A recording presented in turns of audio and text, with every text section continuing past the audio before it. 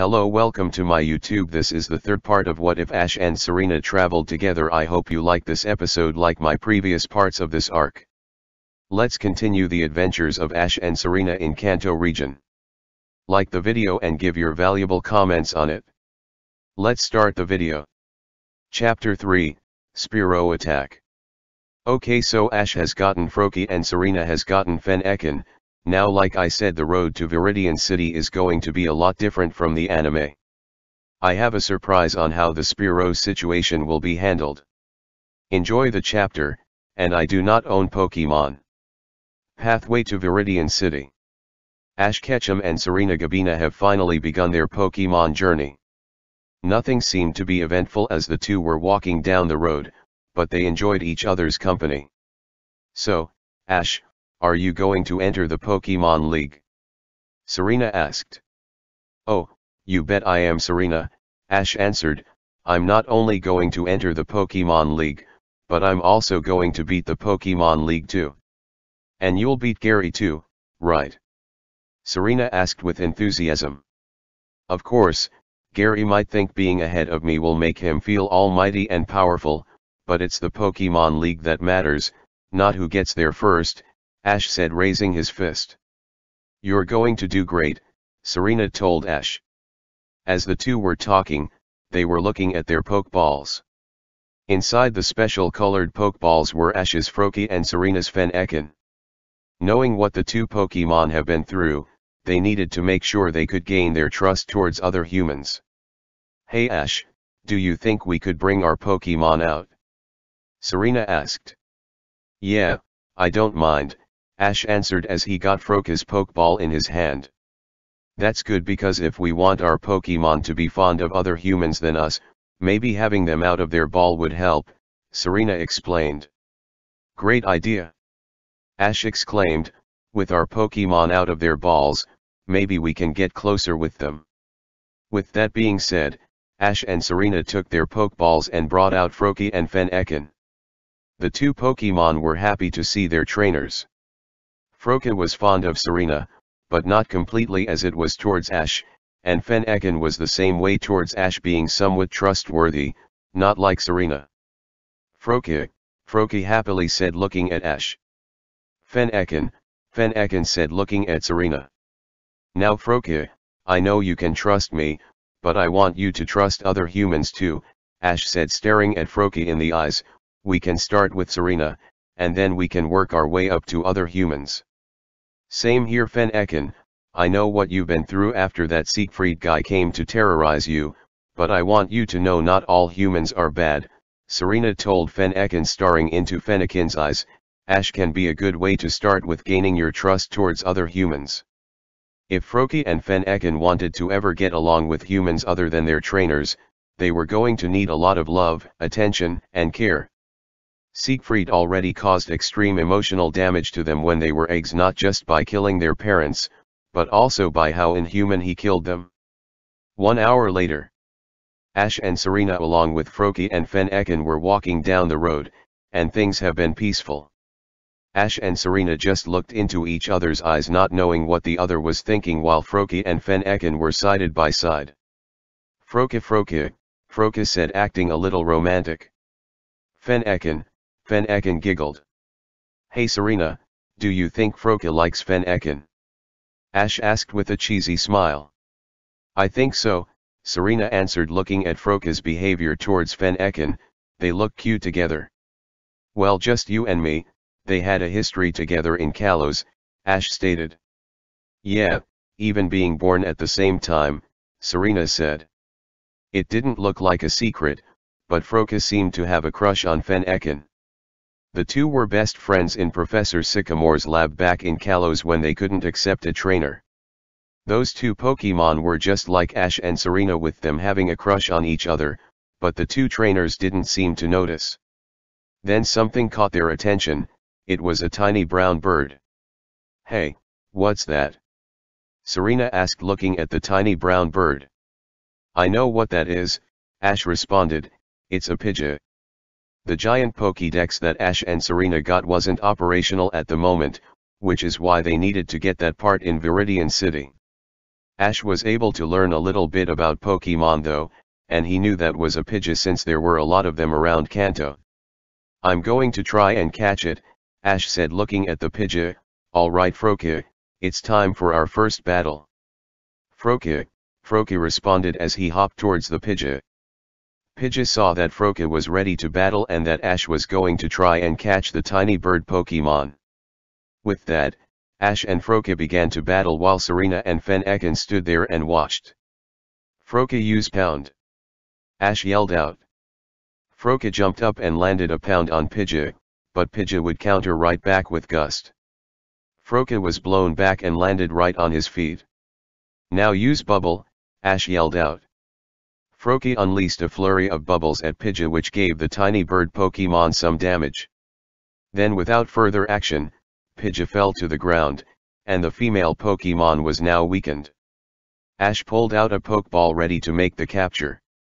Alright, we have weakened Pidgey.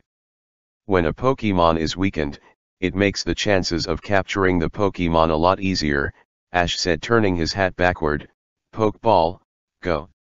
Ash threw the Pokeball and it landed on Pidgey sucking it in, the Pokeball wiggled one time, two times, then three times, and then it dinged. Ash Ketchum has just caught his first Pokemon. I did it, Ash said walking up to the Pokeball picking it up, I caught a Pidgey. Way to go, Ash, your first ever capture, Serena said clasping her hands. Yeah, I and Froakie did a great job, Ash said giving Froakie a thumbs up. Froakie, Froakie replied.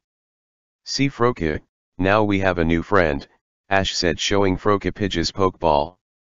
Serena was so happy Ash was able to catch himself a Pokemon, but now she knew it was her turn to get a Pokemon. Serena wanted not only a new friend for herself but also Fennekin.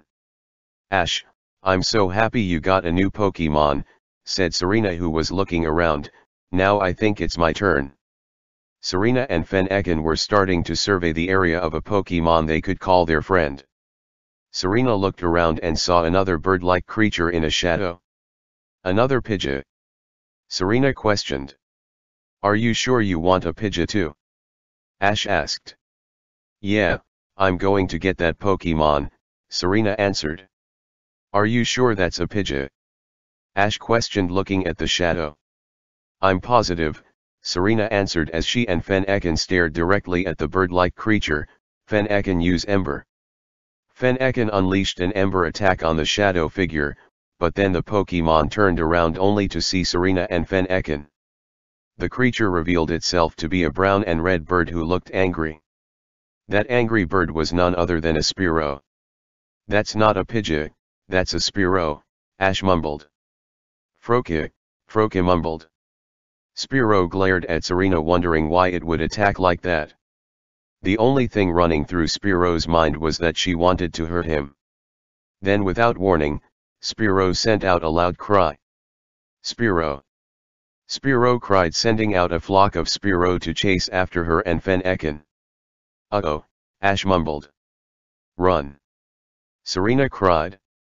Ash and Serena began to run as fast as they could with Froakie and Fennekin running beside them.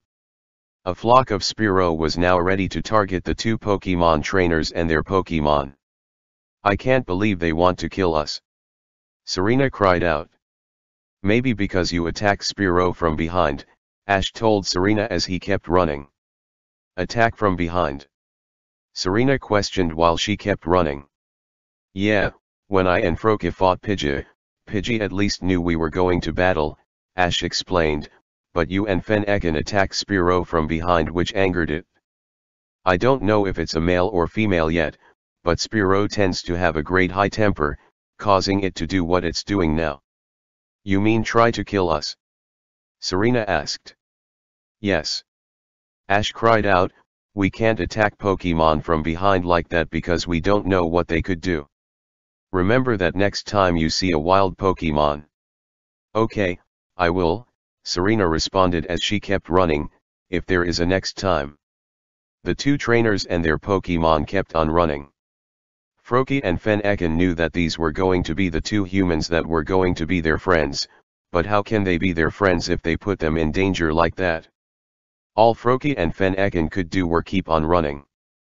Looks like it's the end of the line, Ash said looking ahead to see a cliff.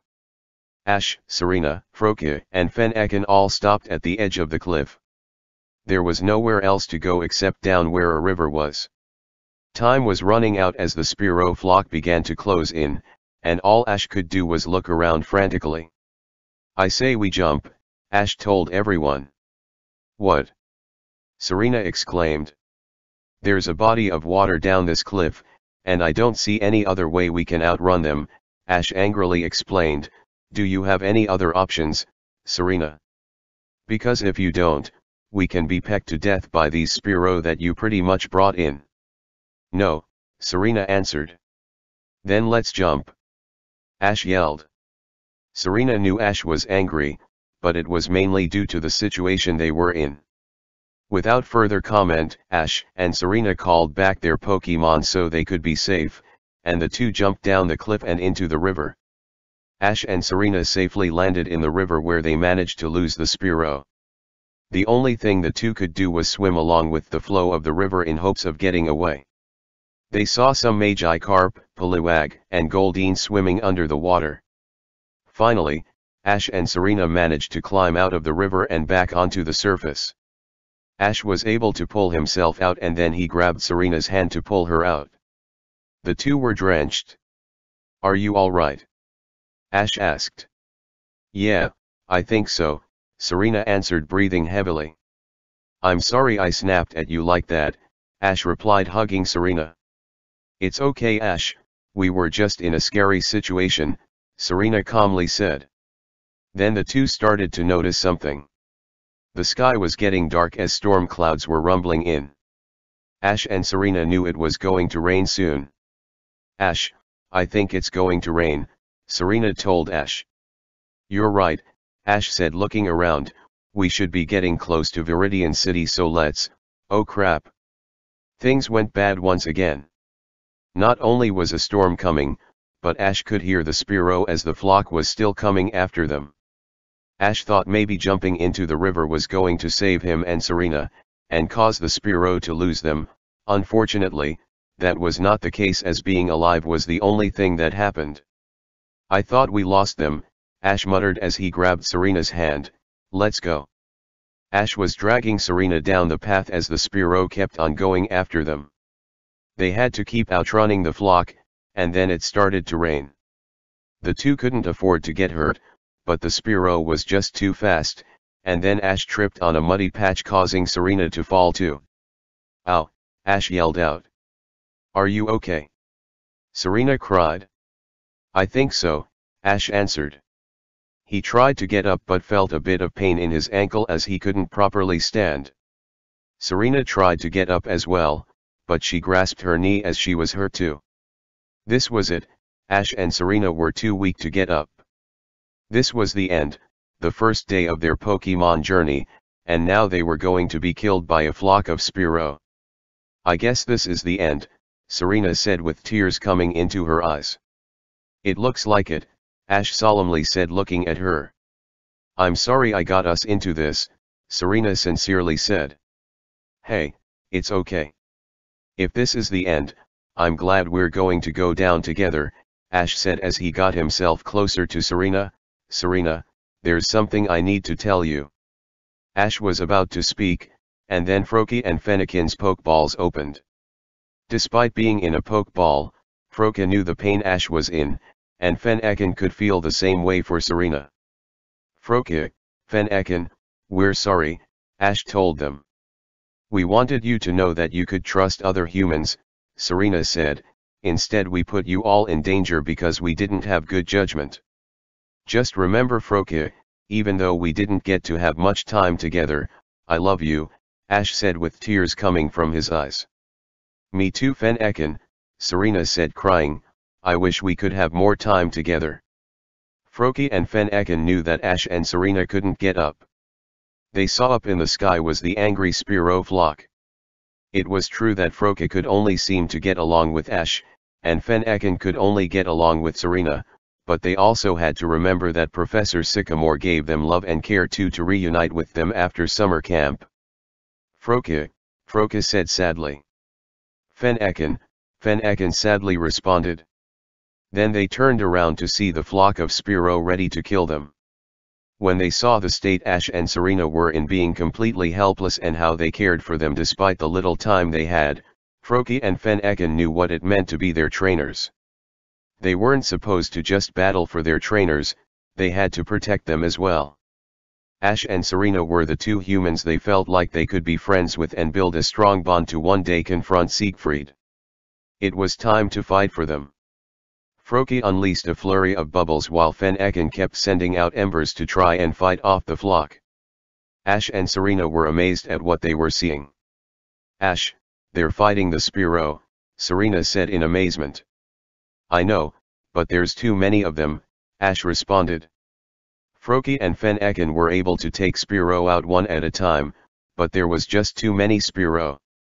Froakie's bubble attack didn't seem to be completely powerful enough, and Fennekin's ember attack was weakened by the rain. Then in just a matter of moments, Froakie and Fennekin were drained of energy and collapsed in exhaustion. Froakie! Ash cried out. Fennekin! Serena cried out. Froakie, Froakie weakly said. Fennekin, Fennekin weakly said. Froakie and Fennekin were apologizing to Ash and Serena for not being strong enough to defeat the Spearow flock. Froakie and Fennekin laid down on the ground knowing the sad truth, they failed them. You did your best guys, Ash told them as he was ready to invite the worst. The Spearow was ready to dive down and strike Ash and Serena. The two hugged each other for support. Ash Ketchum and Serena Gabina were going to die. Serena's eyes came with tears as she was about to say something. Ash, I need to tell you something, Serena told Ash. What is it? Ash said hugging Serena hard. I, Serena responded as she got interrupted. A thunderbolt came out of nowhere striking the lead Spearow that Serena angered causing the Spearow to fall to the ground, and the other Spearow ended up flying away since their leader was defeated. Ash and Serena were shocked to see a thunderbolt come out of nowhere to save them. The Pokemon that launched the attack was yellow with black stripes and a black thunderbolt symbol on its body and looked like a plug. The Pokemon that saved Ash and Serena was an Elekid. You saved us, Ash said to the Elekid. Don't get your hopes up, a voice said, you two should consider yourselves lucky. Then coming out of the trees was a boy with purple hair wearing a dark blue coat, grey pants, and purple shoes. He had a cold look on his face as if he were the trainer of the Elekid. The boy pulled out a pokeball and threw it at the defeated Spearow. The ball wiggled three times before it dinged to complete the capture. I figure since the Spearow was the leader, it would not only drive the other Spearow away but could also be the strongest of them, the boy said picking up the pokeball. He then took out what appeared to be a black Pokédex and scanned the Pokeball. After scanning the Pokeball, the boy clipped the Pokeball on his belt. This Spearow is worthy to be on my team, said the boy. Worthy? Serena questioned. Yeah, the Pokédex I have can scan power levels and this Spearow has proven as of now to be a competent Pokemon, the boy explained. I don't know what I want to say, Ash said, Thanks again for saving us. Humph, don't mention it. This world is completely dangerous and only strong and smart trainers can make it through. No one is always going to be coming to your rescue, so if you ever get in trouble, you better pray to Arceus you know how to get out of it. I can guarantee you the next time you two get into a deadly situation like that, you won't be so lucky, the boy explained as he began to walk away, well I'm out of here, if you two don't up your game, then go home.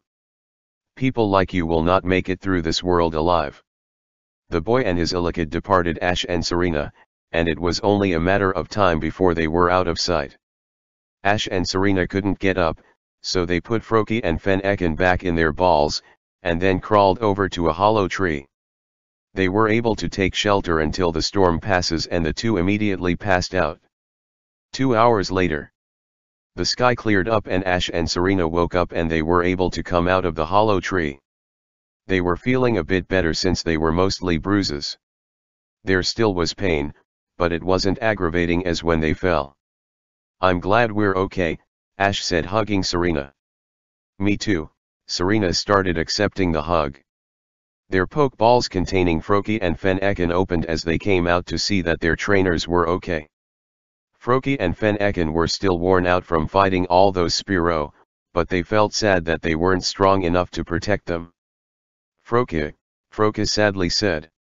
It's okay Froakie, you did your best, Ash said turning over to Froakie and hugging him. Fennekin, Fennekin said tearing up. I know you did everything to look out for us Fennekin, and I'm proud of you, Serena told Fennekin as she turned to Ash, that boy was right on one thing. What was that? Ash questioned as he turned his attention to Serena. This world is dangerous, and we can't always have someone showing up at the last minute saving us from danger, Serena explained. Ash looked down at the ground after hearing what Serena told him. It's true, no one is always going to be there, and luck will not always be on their side. Ash and Serena are going to learn that if they ever get into any more trouble, they need to figure out how to get out of it. You're right, we got to try and make reasonable decisions and if we fall into another life-threatening situation, you and I have to make sure we can find a way through, Ash told Serena hugging her hard. We're going to be okay, Serena said wiping a tear and hugging Ash again. Froakie and Fen Fennekin were even hearing what they were talking about, and they agreed to along with any other Pokemon that were to come with them. Then something unbelievable happened, a majestic colored bird flew over Ash, Serena, Froakie, and Fennekin. What the hell is that? Ash screamed out.